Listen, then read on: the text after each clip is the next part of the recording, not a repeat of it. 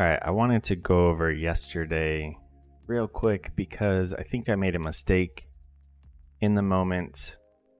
Um, the the move that we wanted was obviously we were opening up above here yesterday above the buy side so i was looking for this move going down with a fair value gap to enter and exit at 90 right above sell side i don't want to target it. I don't want to put my take profits below like sell side or above buy side because sometimes this happens and we just get close and then we, we bounce off of that. And so these two dashed lines are between 9:30 and 10 because I wait till 10 to take a trade. So when I saw this happen, I was thinking the move happened, there's nothing for me, just skip the morning session because then I'm going to be chasing that move, but it already happened. I was thinking that because in my back testing, I would skip days but I went back and looked at my notes, and I would only do that when liquidity was taken out from both sides. So this move happened, and I thought that that invalidated or just like made it so there was no trade for me. However, liquidity was only taken out above the buy side. We never took out liquidity beneath the sell side. So it was my mistake. I should have waited. We would have had to wait for this to come back up but you'll notice we have a bearish fair value gap right here. So we could have entered on any of these retests and I'll scroll over so we can see what happened. But let's just put a, uh, a short in here and see. Our stop would have had to been up here above this swing. But so like a 40 point stop, but I would have been targeting 90. That would have been scary because we had that move already. So it's like, are we really going to go back down there? But that risk to reward would have been a 1.88. So there's that one. I'm going to stretch it out because we would have had to just withstand all of this. But as you'll notice, I'm pointing like you guys can see my finger pointing on the screen. Um, we never went up and we wouldn't have gotten stopped out. So that's one entry. The second, there's another entry over here, fair value gap, fair value gap, retest. So another option right here. This stop would have been up here, another 40 pointer, but regardless. And targeting down here, this one would have only been a one to one basically, but it worked. And we do eventually go attack the sell side.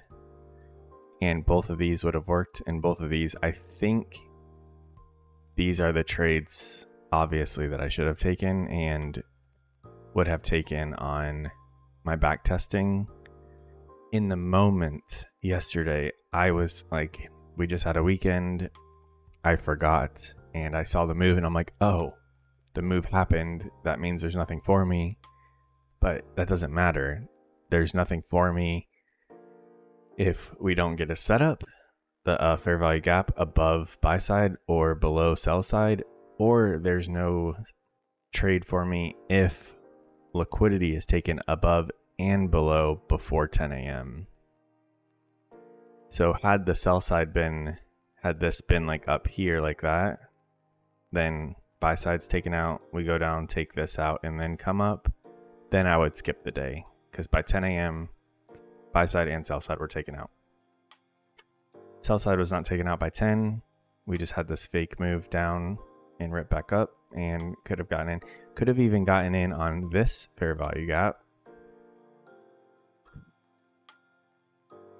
On this one. So on that candle, putting a stop up here, a 33 point stop. That probably would have been ideal. Targeting 90. Would have had to wait till like basically noon. But we could have done it. We've been holding these trades like it's nobody's business. Um, yeah. So it is what it is. Uh, I learned I should have known this, but I just didn't have that specific like nuance written down in my notes. I had only been writing down ignore if liquidity is already taken out before 10, but liquidity wasn't taken out on both sides. So the, the, the trade was still at play. We still could have waited for something, but I didn't we didn't lose money on the trade for making a mistake. Yes, we had a red day, but I was going to take that afternoon trade anyways. We missed out on some profits in the morning because of a mistake. That's not a big deal. Um, and it's nice seeing like this is strategy still working. I thought I was ready, or I thought I was able to take these trades perfectly like backtesting, but obviously I'm still making a couple little mistakes. Again, not that big of a deal.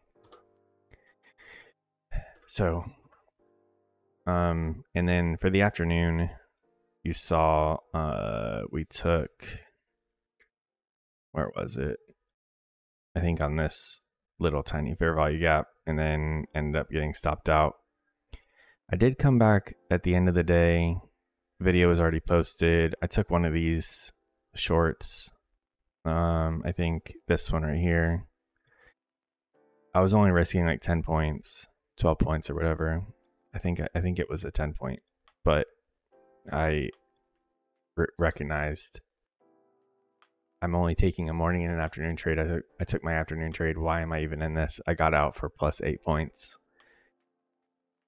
I'm ashamed to say I made a mistake. I'm tr- I'm I've been doing very well not taking impulsive trades. Yesterday just got to me because at that point I think I looked back and realized, damn, I missed. I shouldn't have skipped the morning. I should have just kept waiting. And then I took a loss in the afternoon. It's kind of upset and then I saw a short, and it was technically a setup. Technically, this um, trade could have still played out, um, but I went against some of my rules and just ended up exiting, exiting for plus eight points. So it is what it is. Uh, keeping keeping those emotions under control is important, though. And I think I was able to do that, which is why I did not start revenge trading or tilting or blowing anything up made a little mistake.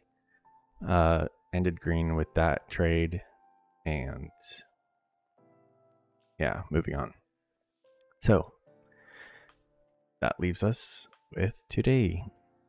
Um, I've got the dash lines between 2 and 5 a.m. Is that right? Yeah, so the London session is between 2 and 5 a.m. Um, Eastern. I've got the high marked out. I've got the low marked out, drag that out. And then I added some additional lines over here. So we got the buy side above here.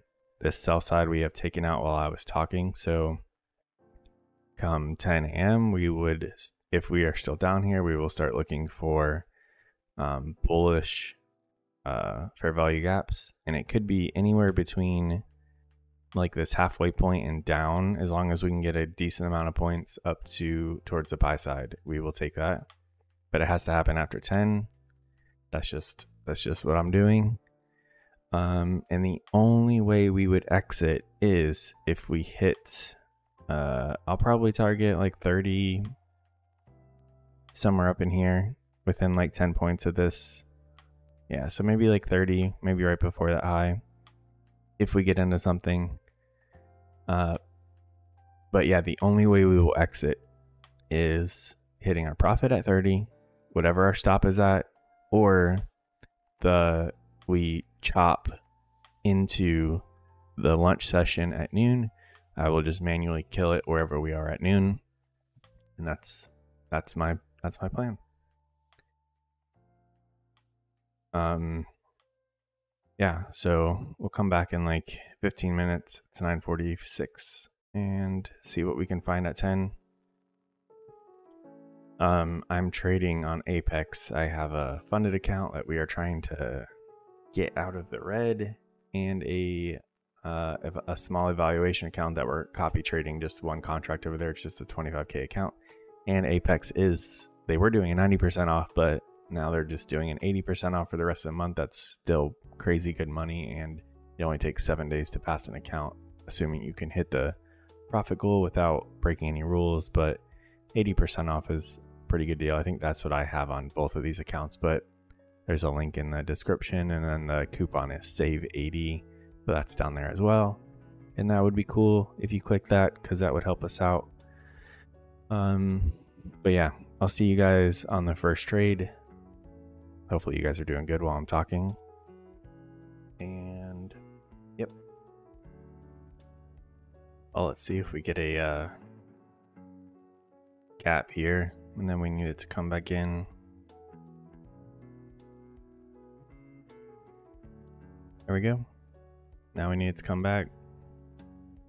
Hopefully not create another one. So that's a freaking huge stop, but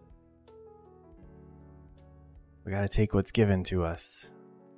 I mean, there are plenty of times where we just trade up and then back down into a gap and then rip off of that. It would be ideal if this candle came back down, so there's no question. We could have got in there, but that's a really big that's a really big stop.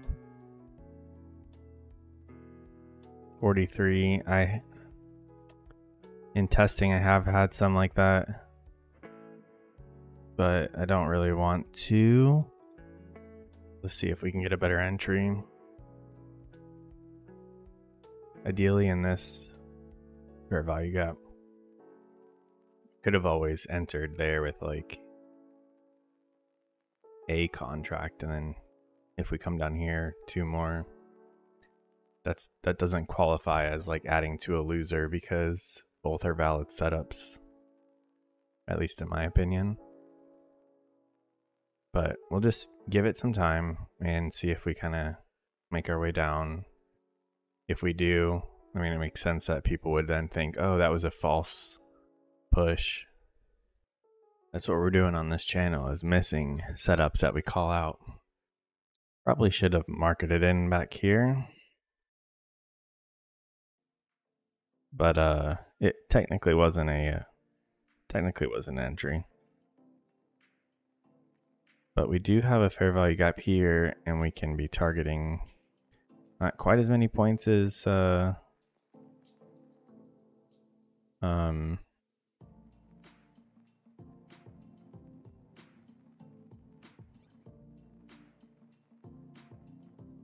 Not quite as many points as if we got in down here, but I think at this point we could go run the high, so we could try to hold off. We're up in like the 50s maybe. We'll just see. So ideally, I would have wanted a fair value gap lower, but I'm just taking what it gives me. It's a little worrisome that this came up directly into the this area. I think I missed my chance by uh, not taking this, but again, it, we didn't test.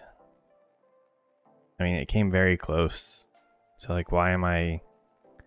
It's only like a point away. Should have just taken it. I didn't get into that because of a. Uh, tick. oh, I should have just marketed when it came close. At that point, I was already taking on all of this risk. So what's a what's a tick? What's a couple points? But see if we can't squeeze a little more out of this. We came down took out all this sell side. We have some equal highs. All this. There should be buy stops up there and is equal with the London session. Let's hope. My goal with these trades, like I've said, is to take trades exactly like what I would do in back testing. And I'm with this move, I'm not I'm not sure if I would have taken that or not. Obviously, I should have, but do I change my entries instead of requiring it to touch that just if it gets within a couple points. Just go ahead and mark it in. After today, yes, that's what I would like to do. And there have been some trades I have taken where I did I did do that, so I need to just make the decision to do that every time or not, but uh, that shouldn't change my the outcome of all these trades by getting in a little early on all of them because on the losers On the losers, it's going to add a couple, like one or two points to all my losers. And then all my winners, it's going to take away a couple points. So I just have to figure, decide if that's what I want to do or not.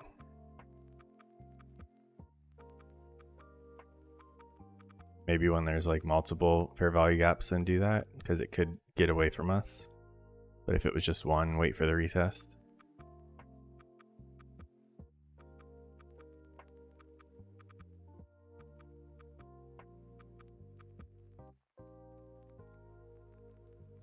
Well, we missed our opportunity. Again, I don't know if it's a missed opportunity because I didn't, uh, we didn't get the retest. And you guys know me. I was targeting 230. I probably would still be, there's a potential I would still be holding on to this. I don't, I just don't know how I'm to put this down.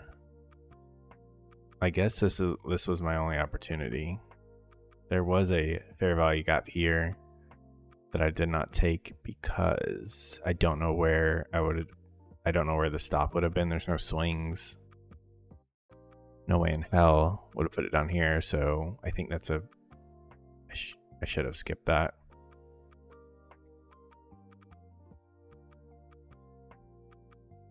Came up to the midpoint of that wick right there. Something ICT talks about. Damn. Well, we come back this afternoon. Try again. I think I'm gonna just start. If they, if there are two fair value gaps like this, like we had one, two. So at this point, you know, we're way up here. That candle closes and we start coming down, I just mark it when we get close to that one. But we'll come back after lunch and see how this plays out because I've been pretty stubborn on uh, holding till my targets. So regardless, even if we, even if this, you know, goes around, if it never hits a stop, we'll see what kind of points we would have made at lunch or at noon. We would have killed it off of this. Just I'm more just curious because uh, say market in about 50, targeting uh, 230, and then we'll see what that looks like at noon. But we're gonna wait until one and see what the range is there. See what happens there, and then see if we can catch a trade. And hopefully something like this doesn't happen. Hopefully it's a little cleaner and a clear entry and a clear exit. Again, what a shame though. What, what did I get up to? 70 points. We'll get it. Alright, I'll be back. You guys heard me say what my plan was for this morning. You heard me say what my exit was. And if we don't hit the exit, we hold until noon. We freaking hit 2:30 at noon. And I didn't take the fair value gaps down here. You want to know why? Because I'm taking my rules way too far when I've told myself I can bend them a little bit. This fair value gap.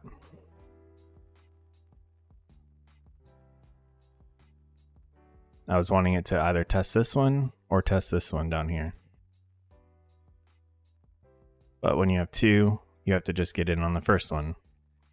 This candle, look at how close we were. We were two ticks away.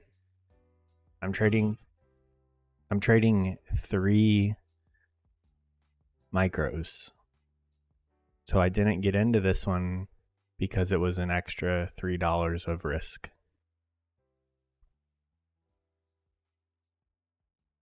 For an 80 point move. I didn't want to risk an extra three dollars.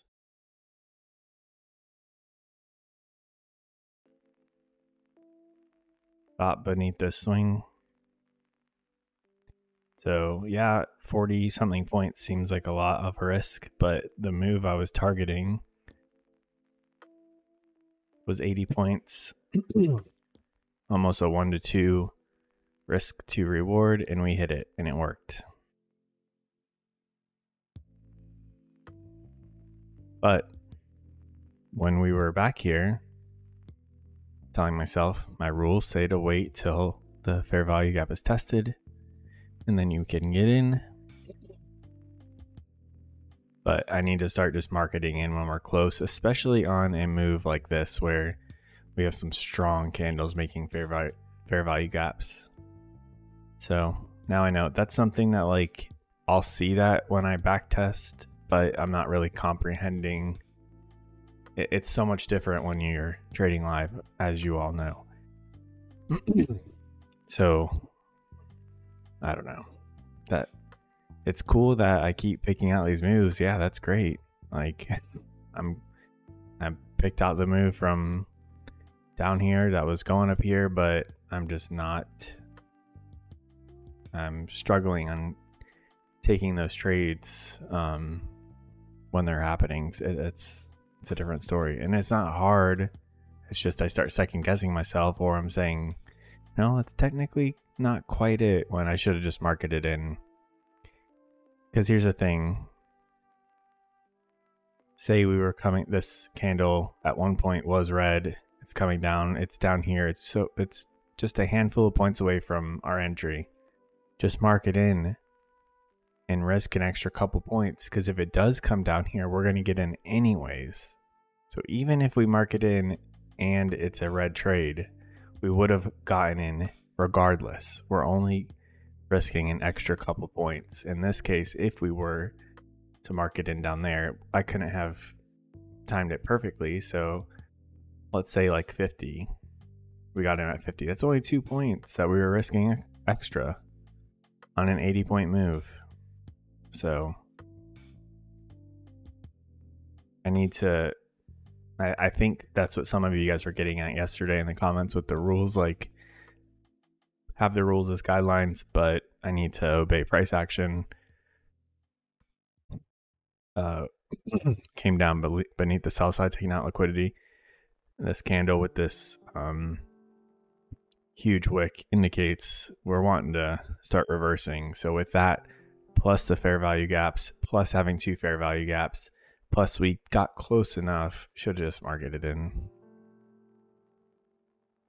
But take that as a another learning experience. I'm not too like, yeah, this trade I got into was a little bit of a FOMO because I'm like, damn, I just missed out on all this. But technically, it still was a setup. Had none of this happened, had we not had a um, fair value gap down here, I would have taken this regardless. So it's not that big of a deal.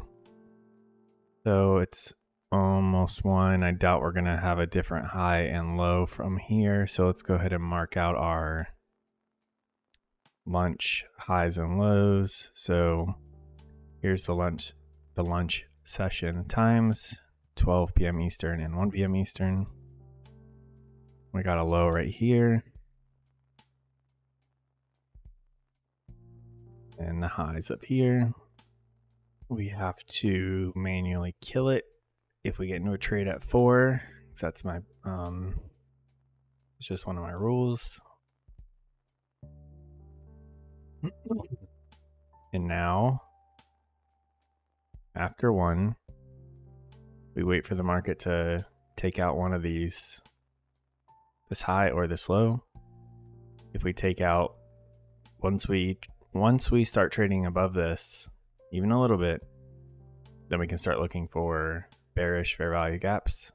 And if we trade below here, we can start looking for bullish fair value gaps and targeting the opposite side. So now it's just going to be a matter of waiting again.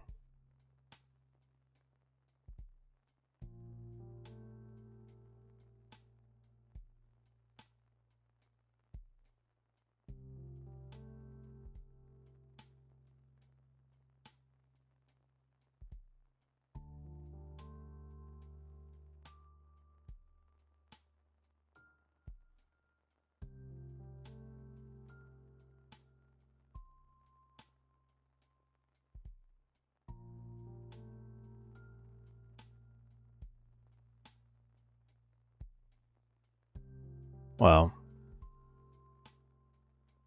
this was a valid setup. As I say, sometimes they don't work. The one from this morning did work. I didn't take it. So once we start taking the ones that work, the ones that don't work don't really matter. Only 220. Kind of want to see. This could trade down a little deeper and then maybe we get another setup. I don't know. I, don't. I. I don't know if I want to. I'm really frustrated about this that I didn't take this over two ticks. I'll probably sit here and just watch it and see if anything happens, but if I end the video here, then that means I didn't find anything. But I don't plan on talking over this next little bit. If I see it, I'll take it. So that will be in here. And if there if this is the end, farewell and I'll see you guys tomorrow.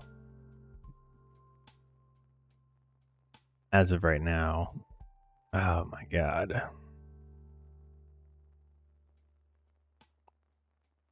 This is sucking. This is sucking.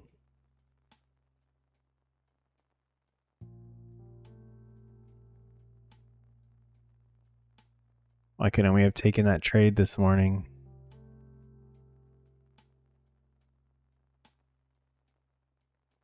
All right, I was editing the video. Still frustrated about this move that we missed, but I opened my charts, took another trade. I'm only supposed to be doing two at a day, two at a time, but we really, you can see we really, uh, there's too much going on on this chart, but we really dug into the lunch sell side down here. We have some fair value gaps. I entered down there as one was forming, I didn't really wait for the confirmation and retest. I think because of this garbage back here. Um, but we will be targeting close to the buy side. We don't have to break the highs, but it'd be nice to get up at least to like 40.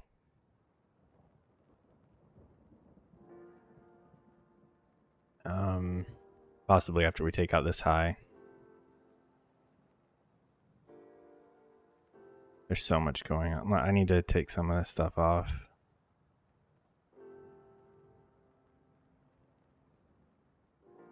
This red line is the as uh 4 p.m.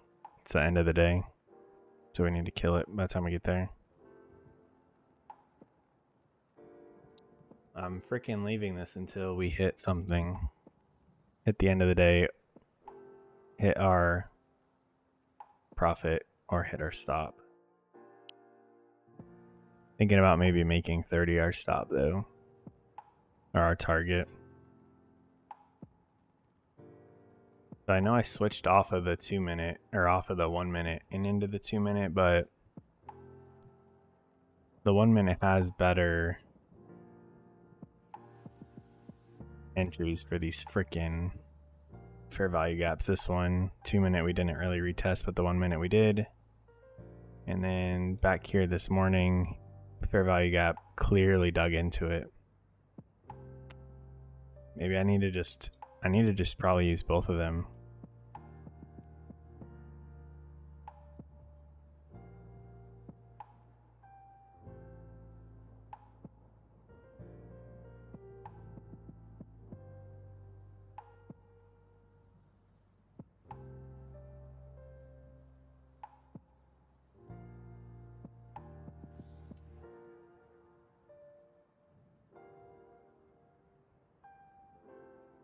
Fine, I'll just take that.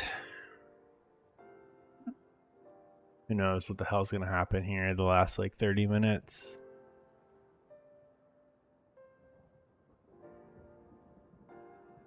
Wasn't really technically any setup, I admit.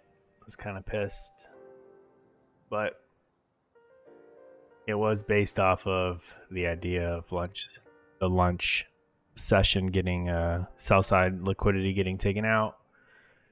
took it out back here. However, came down one more time, and this time it it dug beneath this uh, sell side as as well. So I'm like, you know what, f it. It's not gonna. It, if it's not gonna come back down here, that's gonna be the next stop before it goes higher. And we got we got some points out of that. Still red on the day.